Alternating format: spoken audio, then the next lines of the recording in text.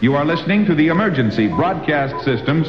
This station broadcasts emergency news and official information on the air for assigned area. Hello guys, Survival Tech Nord here.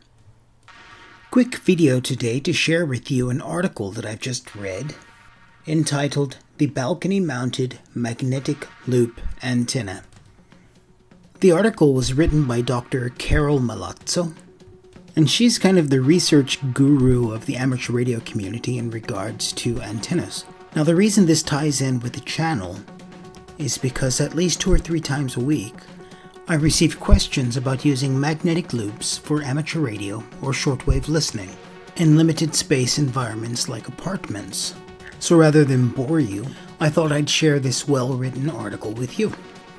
The article's focus is the polarization of the magnetic loop antenna when mounted on a balcony, which could very well be the case if you're an apartment dweller. The article is technical, but it's not impossible.